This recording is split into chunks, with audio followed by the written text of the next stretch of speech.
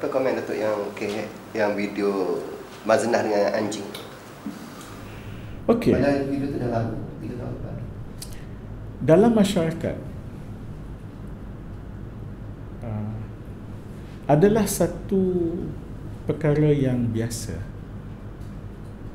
Uh, sesekali akan muncul deviant behavior. Okay. Aktiviti apa? Tabiat bukan tabiat, perbuatan yang deviant lah itu istilah psikologi ya. Dalam psikologi dipanggil deviant behavior. Uh,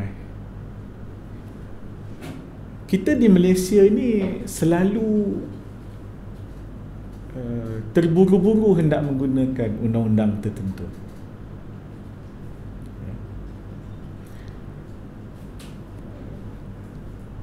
Pada saya sepatutnya kita tengok dulu sesuatu perkara yang berlaku itu. Ya. Adakah ia deviant behavior atau dia memang hasutan?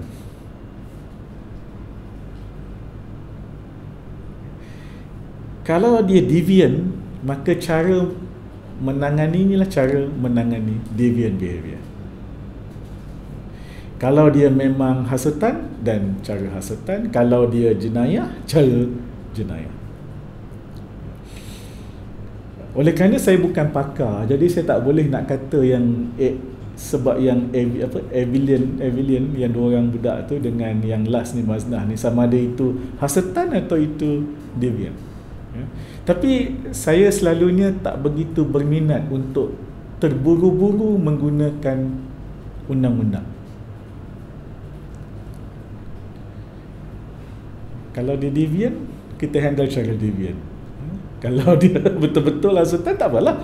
Bukan saya kata tak boleh guna tapi kita di Malaysia ni selalu berlaku je kita pun buat oh, kita kena ini. Nanti dulu tengok dulu. Itu yang kes sekolah Sri Pristana tu pun dia jadi wow macam ni. Eh, relax dulu tengok dulu. tengok dulu apa dia. apa dia? Is it bad management? You know?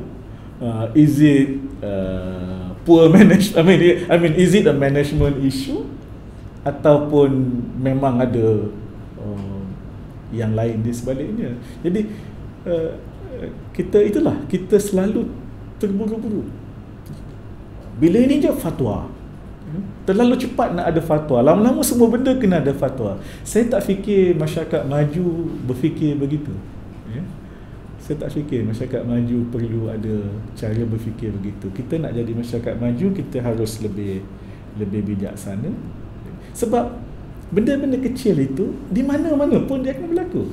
Dia akan berlaku. Jadi takkanlah kerana ada just because sesuatu berlaku dan hanya kerana ada social media benda tu jadi viral, maka ini oh kalau macam tu adik-adik punya lagu raya uh, bahu terkehil pun dah viral Bobo pun dah viral. So so takkan nak suruh uh, takkan you know orang yang tak suka bahu terkehil orang tak suka adik-adik. Orang tak suka adik-adik orang tak suka bobo ah ni bobo is bobo lah. Uh, you know macam dulu kan orang kata masa listen listen listen kan? Oh must take action. Saya kata nak ambil action apa It is a mistake done by Sharifah. Dia tanggung sendiri je lah. You know? But you don't have to take any action on her. She anybody made a mistake. She was not lucky because that thing become viral. So and Bawani become a hero. Okay, tak ada masalah lah. Take it as it is lah. Tapi kita itulah kan kita kita punya masyarakat kita pada saya saya anggap ini agak unfortunate eh?